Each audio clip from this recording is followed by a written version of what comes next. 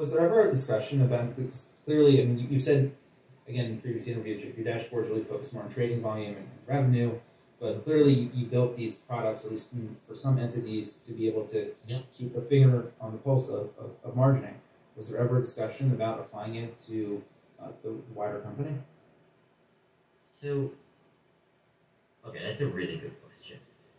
Because obviously the answer kind of should be yes. Like, certainly when you phrase it that way, like, I, I feel like obviously I should be saying yes. Like, I should be living in a world where yes is the answer I give to that.